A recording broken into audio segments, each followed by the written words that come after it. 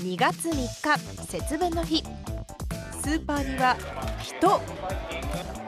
人。人。恵方巻きを買い求める客で大にぎわいです。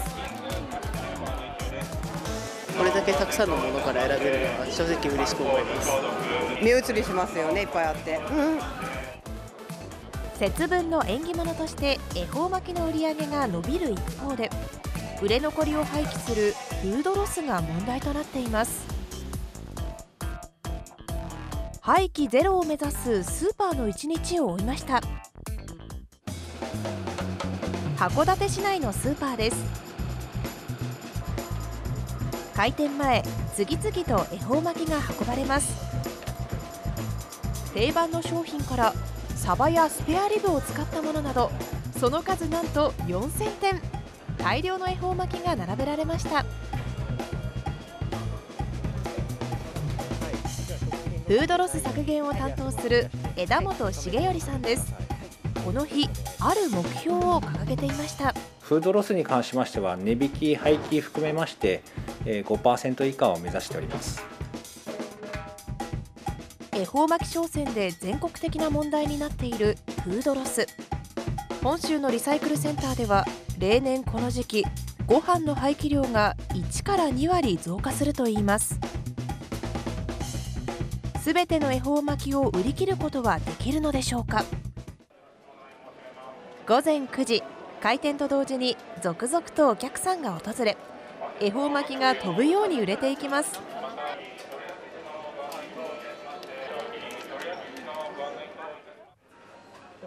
バックヤードを覗いてみると早くも枝本さんが作戦会議を開いていました。えっと、一番売れてるのが7品目の太巻きなのでそれを今追加で製造してます。この店では恵方巻きの4分の3を店内で作っています。売れ筋の商品を見極めすぐに調理して店頭に並べていきます販売数を調整することで廃棄を減らす工夫です。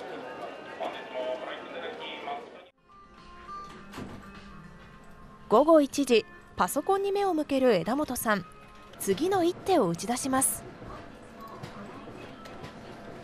今数字を見まして、えー、と売れ行きのいい店舗にちょっと、えー商品の移動をかけようかと思ってます、えー恵方巻き1本パック10、こちらの移動をお願いいたします。枝本さんは系列店の売り上げをリアルタイムで確認。売れ行きの悪い店舗から売れている店に恵方巻きを移動させます。早速他の店舗から恵方巻きが届き店頭に並べられました。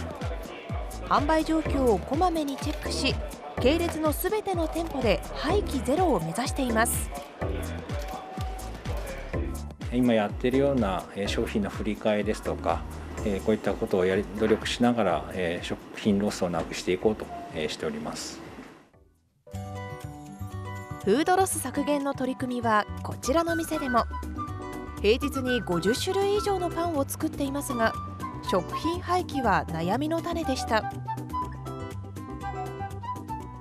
のもう一日パン屋できるんじゃないかぐらいは捨てたことはありますね天気予報は必ずチェックしてるんですけどそれでもどうしても予想外に入んなかったりいきなり入ってきたりっていう場合はちょっと、まあ、調整できるとこは調整してます。廃棄を減らそうと使い始めたのがリベイクというサービスです。売れ残ったパンを冷凍しインターネットのサイトで販売します。希望者は全国各地の店からフードロスになりそうなパンを店頭より割安で購入することができますあ、届いた。すごいすごい。あ、いっぱい入ってる。札幌市に住む平沖さんですこの日上富良野町の店からリベイクで注文したパンが届きました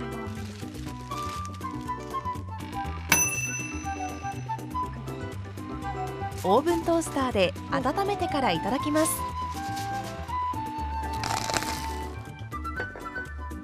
うん。うん。すごいふわふわで中のクリームもすごくミルク感強めで美味しいです全国のパン屋さんを選べてで割とすごく量とかもさん入っているような感じだったのでお得だなっていうのが印象的でした。リベイクでは去年毎月およそ20トンのパンを廃棄の危機から救いました。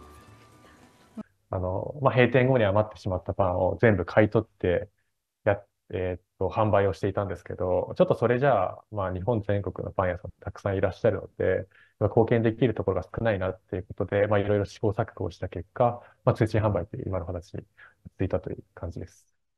国内のフードロスの量は年間およそ523万トン。これは国連が途上国などに支援した食品の1.2倍にもなります。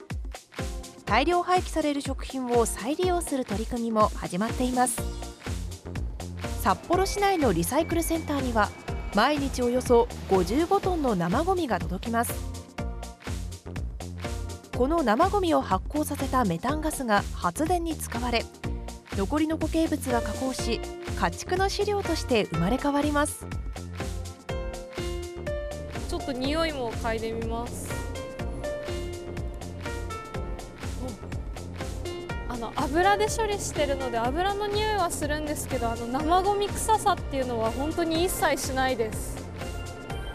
当初はですね、えー生ゴミをただ乾燥して、えーリサイクルしてるだけだったんですけど捨てていた排水がですね、まあ、電気に変わるということでリサイクル向上にはつながってます。肥料飼料それから電気としてほぼ100%再利用してるフードロスゼロを目指すスーパーです。さあいらっしゃい。はいおまきただいま半額にて販売中です。午後5時売り場では最後の追い込みをかけます。夕方の客が増える時間を狙って半額シールを貼っていきます。徐々に恵方巻きが減っていきついに閉店2時間前です。今節分用の巻き寿司の最後の1個が売れました。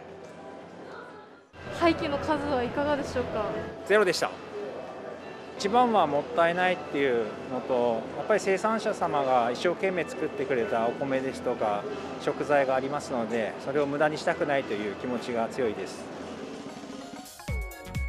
もったいないを減らそうと工夫を凝らす販売店。フードロスを減らすには私たち消費者の協力も不可欠です。